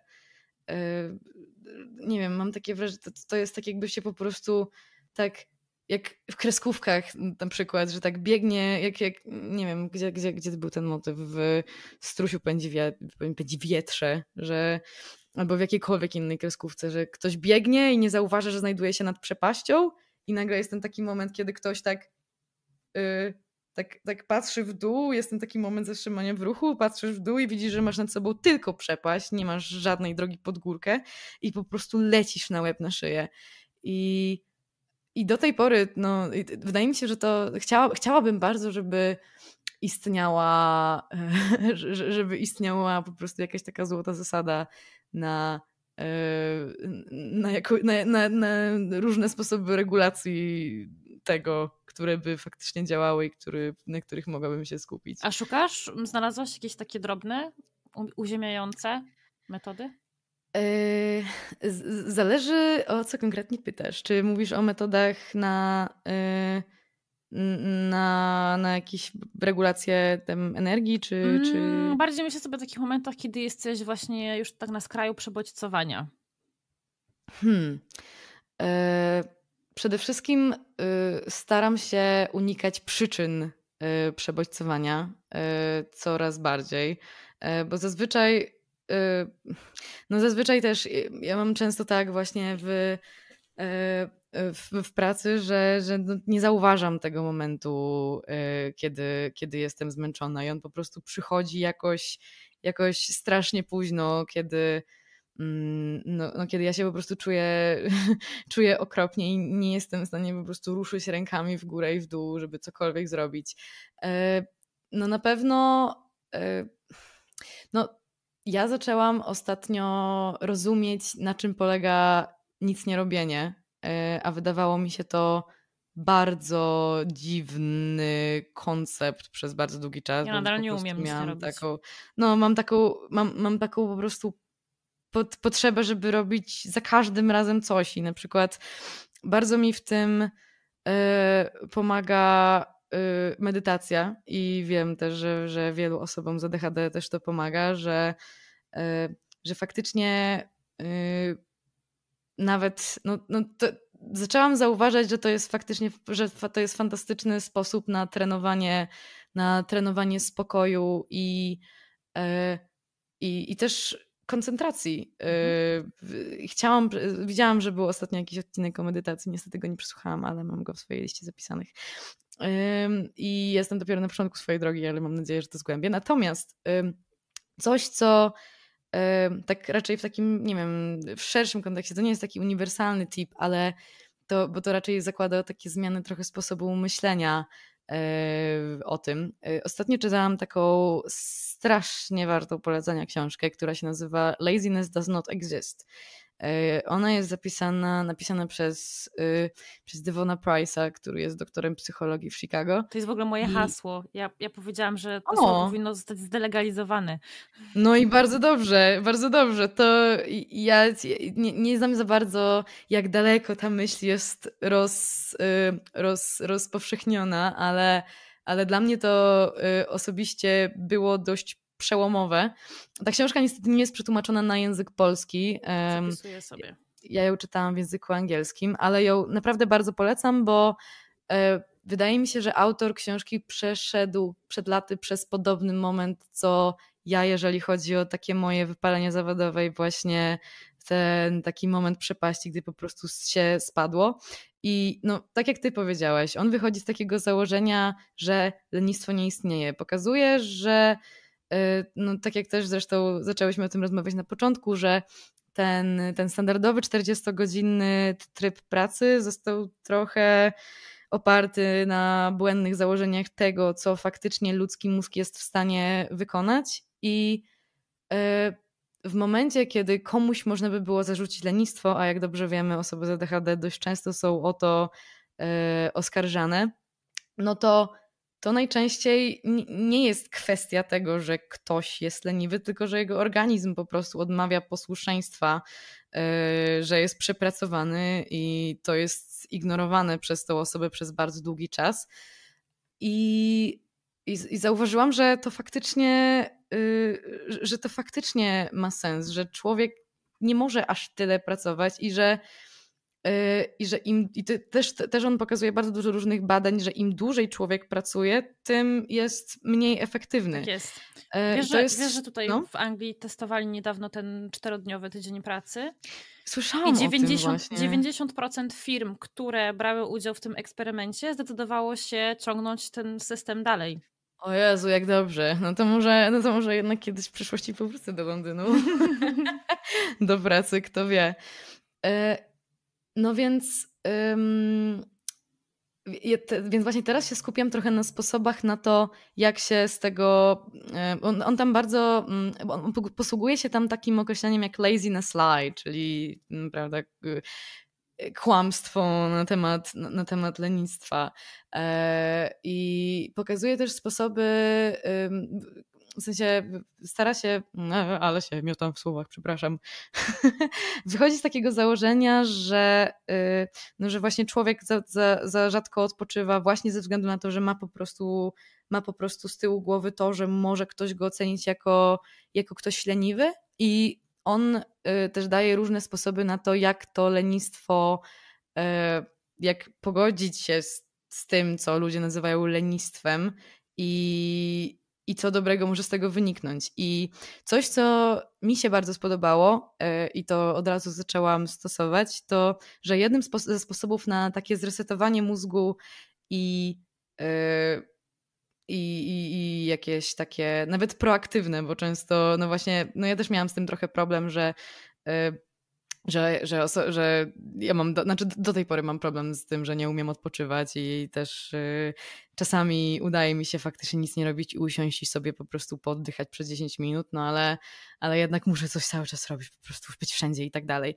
No więc fajnym sposobem na to, żeby twój mózg odpoczął, ale jednocześnie żebyś ty coś robił, to jest y, coś, co może się wydawać bardzo proste, ale pójście, zrobienie jakiejś aktywności, która którą robisz po raz pierwszy i której, w której prawdopodobnie będziesz słaby, bo robisz to po raz pierwszy i której byś normalnie nie wykonał jako taka standardowa y, czynność. Na przykład jakiś nowy sport. Mhm. Y, to jest bardzo proste, ale, y, no ale tam właśnie jest pokazane to, że, że, że w momencie, kiedy po prostu poznajesz coś po raz pierwszy, to no to, no to naturalnie po prostu cała twoja uwaga jest skupiona na tej aktywności i ty dosłownie no to automatycznie nie myślisz o tym wszystkim, o czym myślisz na co dzień, czyli po prostu o tych wszystkich deadline'ach, których masz i sprawy codziennych i po prostu cała twoja energia jest przykuta do, do jakiejś rzeczy, która jest zupełnie odklejona od twojej rzeczywistości i to bardzo, i to bardzo pomaga i e, właśnie to jest taki trochę mój plan na ten rok, żeby żeby poznajdować jak najwięcej takich aktywności, które wydaje mi się. Plus, w momencie, zapomniałam o tym powiedzieć, że w momencie, kiedy wykonujesz jakąś czynność, w której wiesz, że pójdzie ci źle, to nagle mm, no to, no to przyzwyczajasz się też do tej myśli, że nie musisz być cały czas najlepszy. I y, to wydaje mi się być taką bardzo fajną lekcją w momencie, kiedy na przykład jako osoba z ADHD E, no przez całe życie próbowałam po prostu maskować moje wady perfekcjonizmem. Oh yeah. oh yeah. No i to do pewnego stopnia jest to jest to spoko, ale często przekładam moje, mój self-care właśnie ponad ten, znaczy no, perfekcjonizm przekładam ponad moje, moje zdrowie. E, no i też y, ta presja do tego, żeby cały czas być najlepszym, żeby po prostu, y, żeby robić te 100-200% normy, yy, nagle trochę, trochę bardziej yy, zaczynasz doceniać siebie na takiej zasadzie, że nawet jeżeli nie jesteś w czymś 100% najlepszy, to i tak jesteś wartościową osobą, bo nie ilość pracy, którą wykonujesz, yy, cię definiuje jako wartościową osobę i to nie o tym świadczy. Wtedy też widzisz te takie małe postępy. Ja to przećwiczyłam, mm. jak zaczęłam się uczyć jeździć na wrotkach E, Uuu, to, było, to było w ogóle, to było super takie, szukam słowa po polsku. Mm. Nie musisz. jak, się, jak się mówi po polsku humbling? Humbling? No nie znam tego. Mm. A takie, a wiem, takie... Yy, nie... No, jak się to, jak się to mówi po polsku? Shit. Nie chciałam powiedzieć, że uwłaczające. Nie, nie, nie, nie. nie. Zrównujące z ziemią. O, to jest dobre, to jest dobre słowo. Mm. Człowiek mieszka troszkę za granicą, teraz po prostu. Polska język, trudny język. No tak. Mm, ale to było takie doświadczenie, bo, bo ja zawsze miałam takie poczucie, że muszę być we wszystkim, co robię natychmiast Mm. Najlepsza, jak tylko mogę być. Tak, właśnie, natychmiast, no nie? I, nie, mogę, tak. nie, nie, mogę jakichś małych postępów nie. robić, tylko muszę mieć wszystko na już. Nie, ja już natychmiast muszę y, wiedzieć, jak tańczyć na wrotkach, y, skakać po rampach i w ogóle uprawiać wszystkie możliwe sporty z tym związane i być w tym najlepsza. Tak. Więc w momencie, kiedy to się nie udawało, bo jestem bardzo nieskoordynowana, więc oczywiście miałam z tym problemy, mm. to to rzeczywiście tak cię sprowadza na ziemię. O, sprowadzający na ziemię. O, to jest to słowo. Nie zrównający, tylko sprowadzający na ziemię. O, tak, tak, tak. E. To rzeczywiście, to tak działa, bo myślisz sobie, no dobra, dobra, nie będę skakać po tych rampach, bo się cholernie boję tego, że się połamię, więc nigdy nie pójdę do skateparku, ale przynajmniej umiem jeździć przodem, tyłem i robić kilka innych sztuczek. I to tak, jest no i, no, no, no, i samo to, że to było nowe, no to, to ci dało fan. I to daje super frajdę, tak, tak. Tak, tak. I to, to, to, też jest fajne. Może się okazać, że ta jedna rzecz nowa, którą zrobisz się... No, no, nie musi to być od razu tak przecież, że Y, że, że o ile się nie zapisujesz na jakieś tam zajęcia 8 godzin z rzędu, no nie, ale że y, to nie od razu musi oznaczać, że ty nagle wpadniesz w ten taki hiperfokus i to będzie coś dla ciebie złego, że o, wiem, że to pewnie będzie znowu tak, że ja zacznę to robić i później przestanę i tak naprawdę co z tego, co z tego wyniknie? No właśnie wyniknie z tego to, że sobie będziesz miała fan przez jakiś tam czas i sobie... I, i czegoś się nauczysz przy okazji. I czegoś się nauczysz przy okazji i później to wróci widzisz, i to jest, i to jest normalne. Tak. Nie musisz się przejmować tym, że, że, że zmieniasz swoje zainteresowania tak, yy, tak często, no bo przecież nikt nie powiedział, że musisz mieć jedno hobby przez całe życie. Nie, dokładnie, dokładnie. Chociaż kiedyś oczywiście miałam, miałam na tym punkcie kompleksy, ale przestałam je mieć i właśnie widzę to te, teraz tak jak, tak jak ty to opisujesz. E, wrotki, ale wrotki się kurzą teraz od roku. Ale... Miałaś kompleksy na punkcie czego? Tego, konkretnie? że nie potrafię tak jednej rzeczy się nauczyć i ją robić, tylko że muszę za zaczynać i nigdy nie kończę.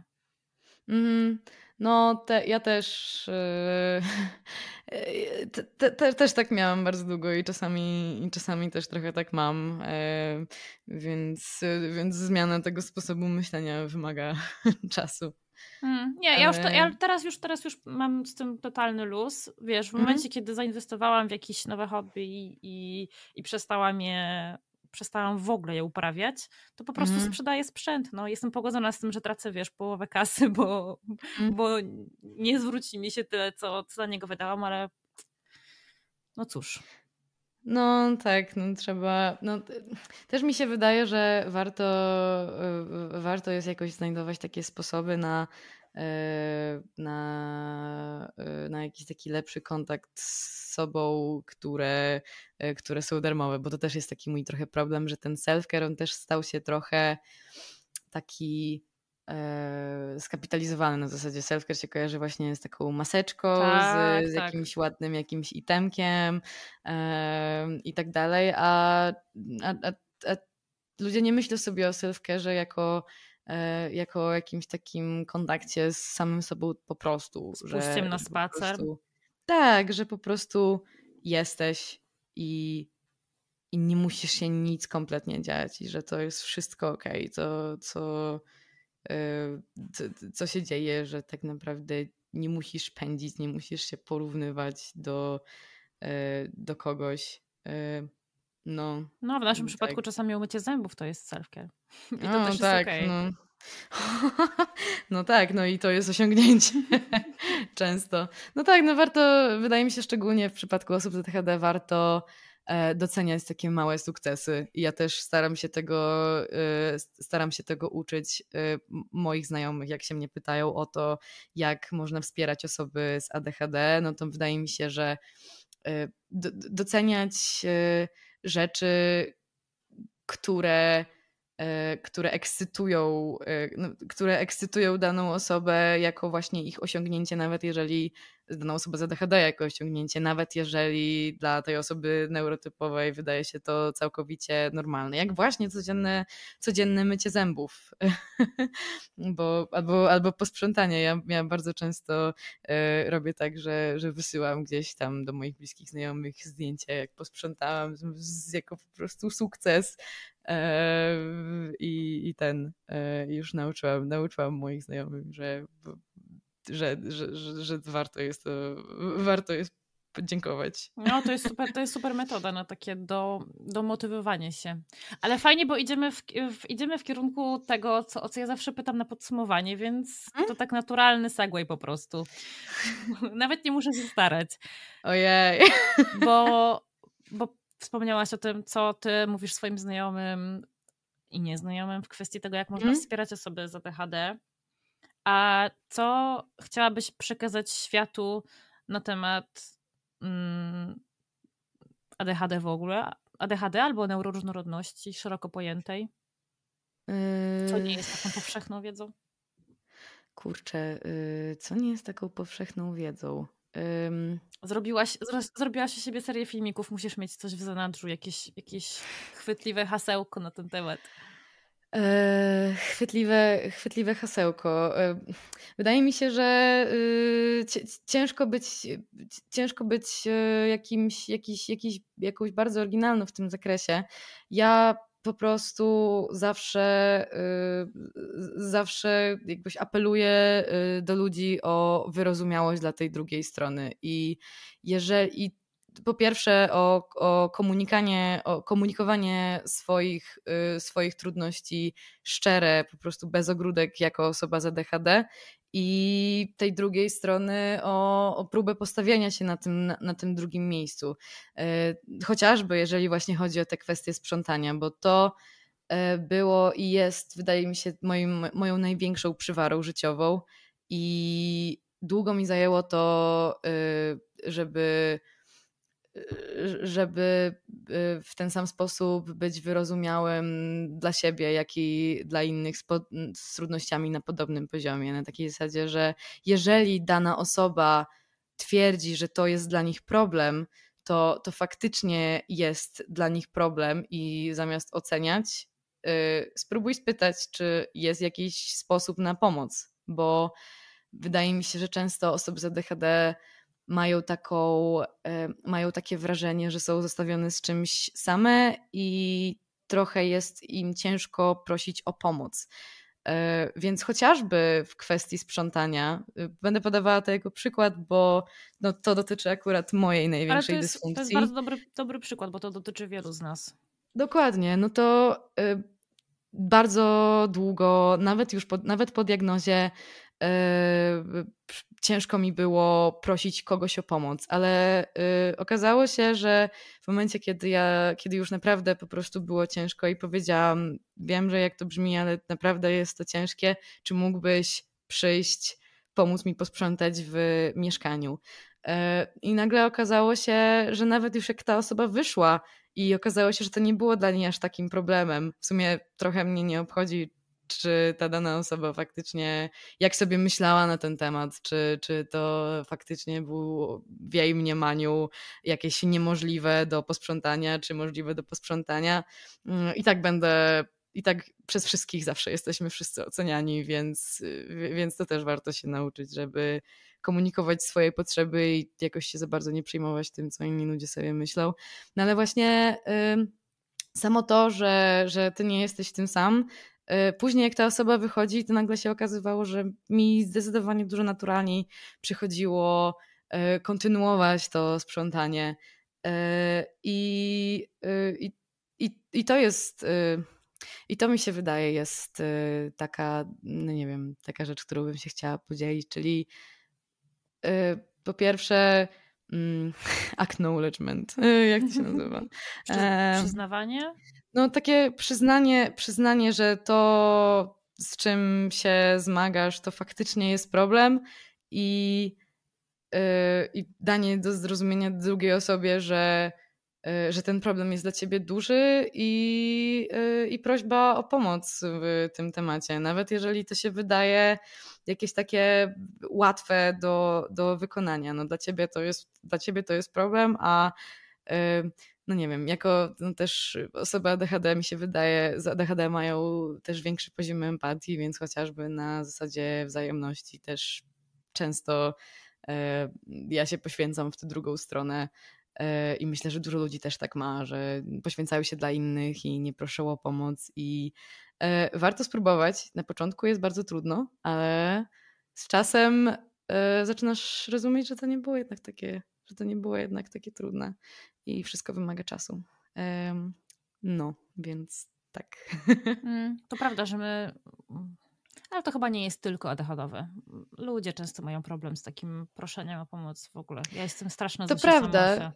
Y, to prawda, ale y, wydaje mi się, że w, w, przypadku osób z ADHD często te problemy dotyczą jakichś takich małych rzeczy, tak. które dla ludzi są e, które dla ludzi są proste, albo w ogóle wydają się takie mało skomplikowane tak, i nie wymagają tak, tak, tak. takich większych, większych tych. No i dla nas to jest po prostu wstydliwe, bo tak jak ty mówisz, mm -hmm. Poproszenie kogoś o pomoc w posprzątaniu mieszkania może być rzeczą wstydliwą. Z jakiegoś powodu, mhm. z jakiegoś powodu w ogóle wstydliwe dla nas jest to, że my tego porządku w mieszkaniu nie mamy. Ja sama, sama zdarzało mhm. mi się, wiesz, pięć minut przed tym, jak e, jakiś niezapowiedziany gość się pojawiał, e, wpychać wszystkie, zbierać e, ubrania z, z podłogi i wpychać je do szafy, nie? No, to się zdarza u mnie do tej, do tej pory. No, więc więc jakby rozumiem, rozumiem, z czego to wynika. Rozumiem, z czego to wynika, bo nam po, my się po prostu wstydzimy często tych rzeczy, które dla innych są takie proste. To prawda, to, to, to, to, prawda. I e, no, wydaje mi się, że to jest, tak jak powiedziałam wcześniej, no, kwestia, kwestia praktyki i, um, i, to, i, i coś, co akurat ja z tym nie miałam jakiegoś aż tak bardzo e, problemu, że ba boję się, znaczy nigdy się za bardzo aż tak nie bałam, że ktoś mnie oceni, tylko, tylko że te działania, które ja wykonuję, mogą w jakiś sposób sprawić, że właśnie ktoś. Dla, nie, dla niego coś w jego codziennym funkcjonowaniu będzie utrudnieniem. Dlatego też właśnie ze współlokatorami miałam strasznie duży problem e, zawsze.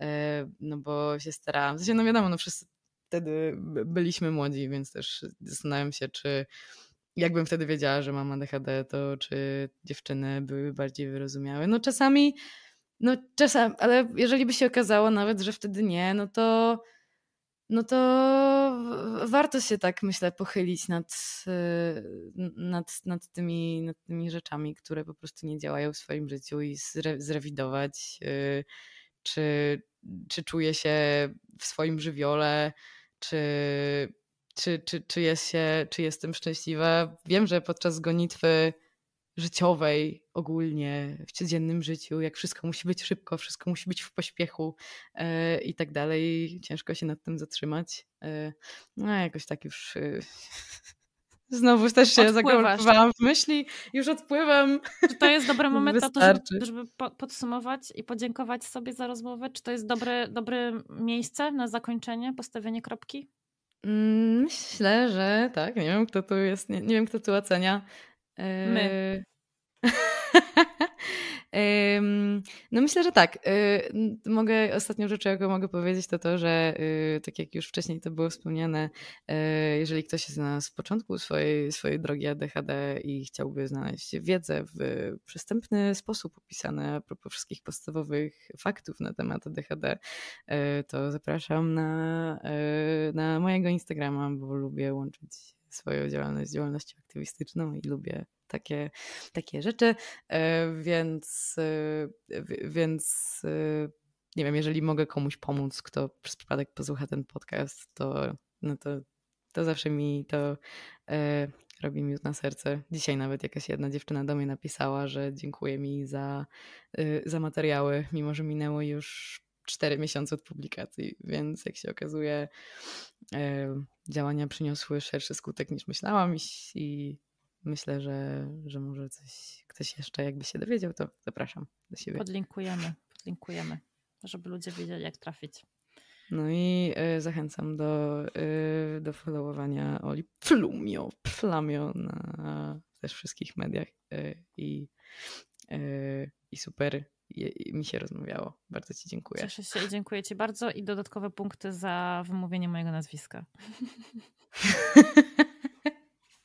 No bo e, jest interesujące e, i bardzo stymulujące, cały czas na nie patrzę podczas tej rozmowy. Powiem ci, że to jest nazwisko francuskie, ale z Arzacji, więc nawet Francuzi nie wiedzą, jak je wymawiać. Także. No, nie jest zbyt intuicyjne. Rozumiem to. Dobra, dzięki Ania. Bardzo fajnie mi się z Tobą rozmawiało. Mm, mam nadzieję, że e, będziesz tak dalej pomagać innym osobom trafiać na trop diagnozy. E, I ja mam nadzieję, że ty dalej będziesz e, pomagać, e, pomagać ludziom w poczuciu, że przeżywają to samo, co, co, co my i poszerzać swoją społeczność, bo wydaje mi się, że jest super. To posłodziłyśmy sobie. No, no. Dobra, nie no, kończmy już. To pa. To pa.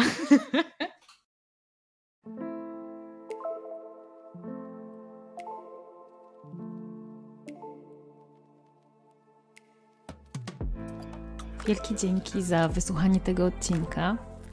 I oczywiście Spotify, YouTube czy TikTok nie powinny być wyznacznikami diagnozy. Ale jeśli to, o czym tutaj rozmawiałyśmy, brzmi dla ciebie podejrzanie znajomo, to mam nadzieję, że zaopiekujesz się sobą i wykonasz pierwszy krok w kierunku pójścia po pomoc, bo każda z nas na to zasługuje. Do usłyszenia w kolejnym odcinku.